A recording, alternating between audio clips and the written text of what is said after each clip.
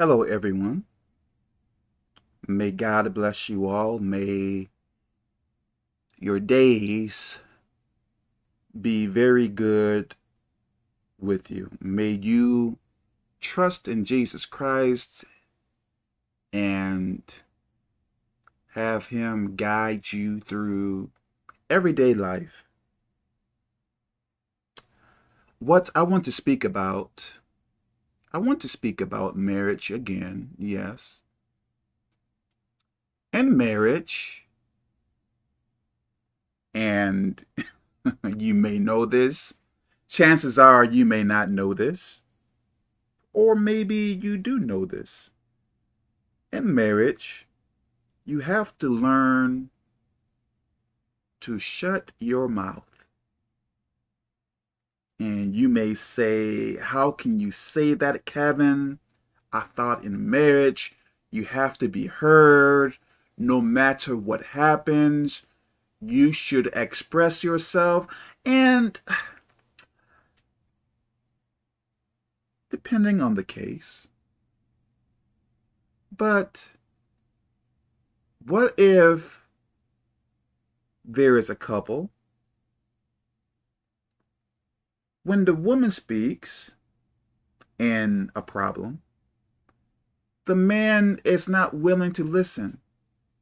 When the man speaks, I am speaking about an argument. When the man speaks, she isn't willing to listen. So, what should you do in a case like that? Continue speaking and deepen the the bad atmosphere or make things worse? Like, are you telling me that you should say something even though it can make things worse? There is someone I know, and this person, I believe, have shown me that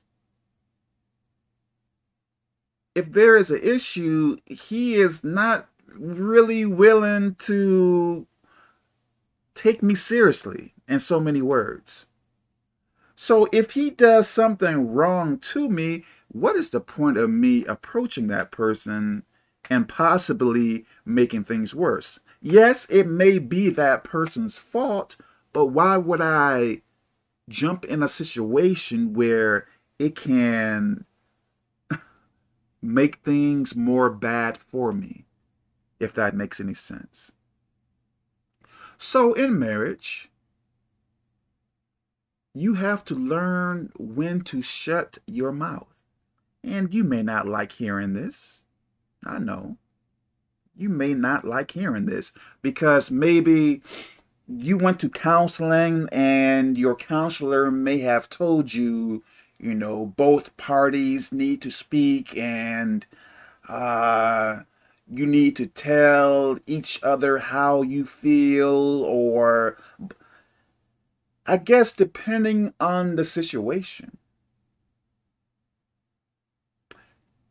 What that counselor, what that counselor may not be telling you that we are in a spiritual war.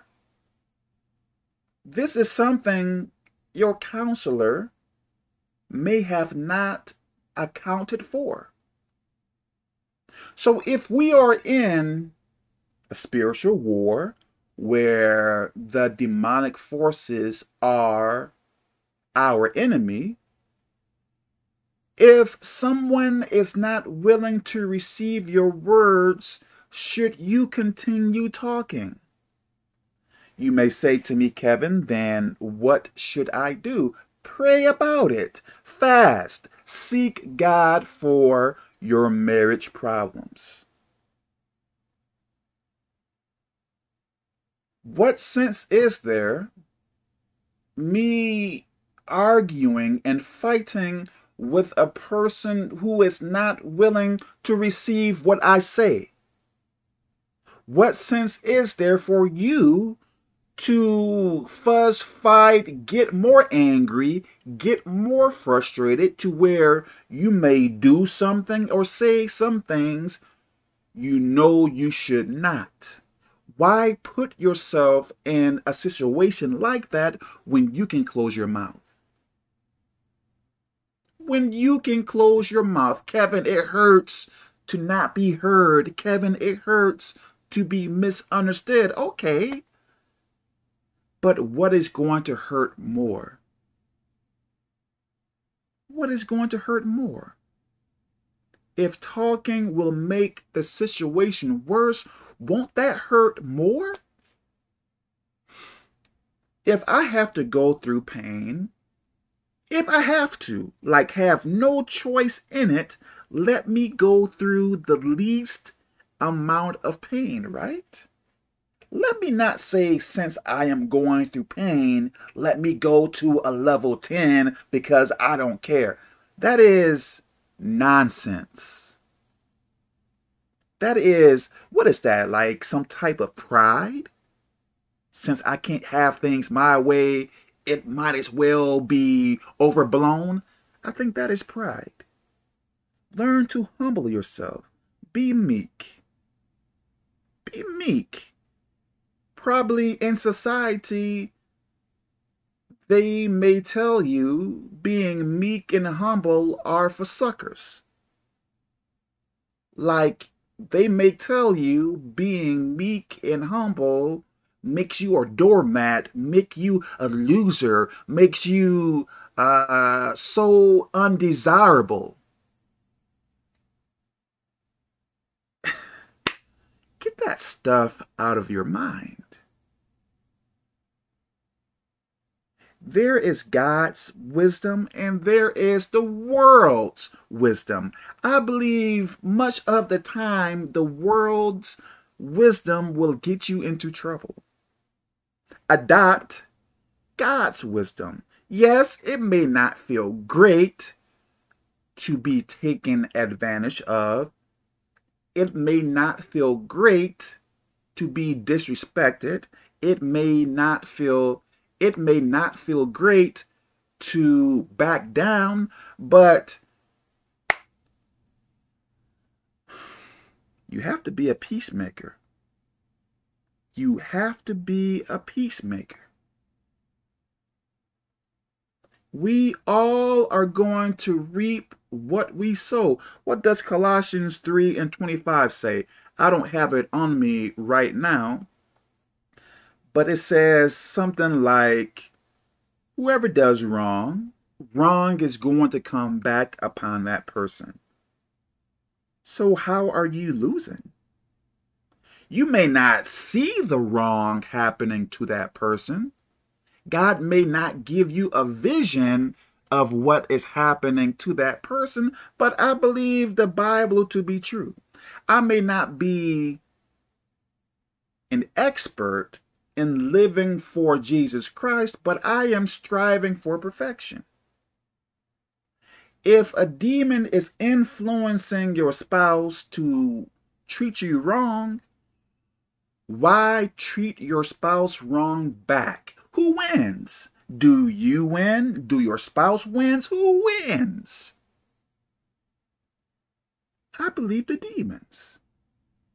So why fall into a trap when your spouse may have fell into it? I think you have to use discernment. I believe you have to use wisdom. Don't fall to the wayside, if I am saying that right. Don't fall to the wayside because of being provoked. I hope this makes sense. We are in a war.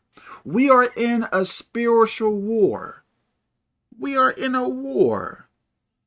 And demons may use people to come against you, to falsely accuse you, to uh, make your reputation less, or maybe try to dirty your image.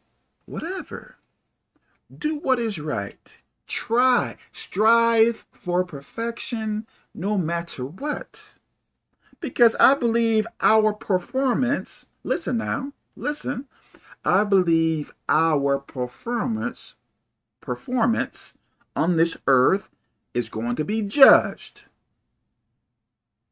I believe we are in this life to be tested. So if we are in this life to be tested, if our behavior is going to be judged, shouldn't we do very well? Shouldn't we place our spiritual life first more than everything else? I think so. If everything I have in this world, if I can't take it with me, what's the point? I am not saying it is bad to want a car and some clothes and some um, gold rings and some jewelry and stuff like that. I am not saying that is wrong. Some people may say it is wrong, but I don't think it is wrong. But I believe we will be more than I believe, but we are going to be in the afterlife more than this life. We will probably be in this life for maybe 80 years, but how long are we going to be in eternity? Forever. Forever and ever and ever and ever and ever. So shift your focus on the Word of God and doing it more than in this world. Don't be ensnared by demonic tactics. Pray for your spouse.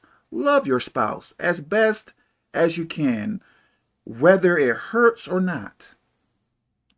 I mean, even if it hurts you really bad, do what you have to do. I believe there are rules that the man and woman must follow in marriage. So go by the rules that apply to you. I hope this makes sense. God bless you.